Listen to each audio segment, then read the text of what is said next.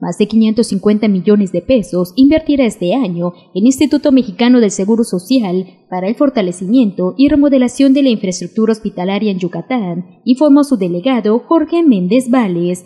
El funcionario indicó que la unidad de medicina familiar de Canacín será ampliada con el fin de atender la gran demanda que se registra en ese municipio. Por otro lado, Canacín va a ampliar y remodelar su, su unidad, ¿verdad?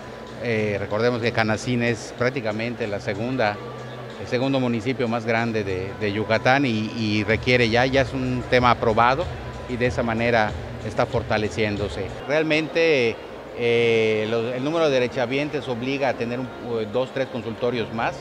Se solicitó y se autorizó a nivel central y en ese sentido la, eh, autorización detona la ampliación de esa unidad. El ayuntamiento de Canasí nos donó el terreno adjunto, había un terrenito adjunto, que con eso vamos a ampliarlo.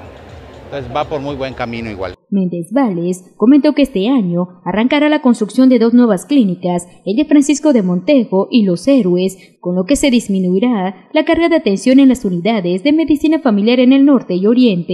El tema de, de Héroes, que es una unidad de medicina familiar de 14 consultorios, con una capacidad eh, de absorber cerca de 60 70 mil derechohabientes y que va a ayudar a dispersar todo el oriente de la ciudad de Mérida y descargar también a las unidades que existen. Y también va por muy buen camino Francisco Montejo, es una unidad de medicina familiar de 10 consultorios que el director anunció su construcción y estamos seguros que que muy pronto daremos eh, fechas y precisas en cuanto al inicio de construcción.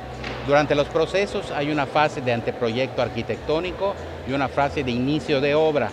Una vez iniciado el, proyecto anteproyecto arquitectónico, son dos meses para que se detone el inicio de obra. Dijo que están en etapa final la validación de dichos proyectos, por lo que se espera que en los próximos meses inicien su construcción.